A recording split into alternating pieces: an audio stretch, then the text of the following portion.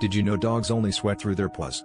That's right, while humans are dripping from head to toe, our furry friends have a unique way of keeping cool. Imagine running a marathon and only your feet break a sweat. This peculiar adaptation allows dogs to regulate their body temperature effectively, especially during those high-energy sprints at the park. When a dog is panting after a long game of fetch, it's not just their tongue doing the work.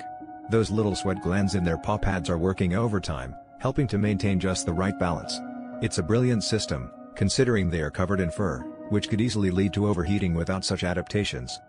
And here's another twist, since their paws are the only part that sweats, dogs have to rely heavily on panting to cool down.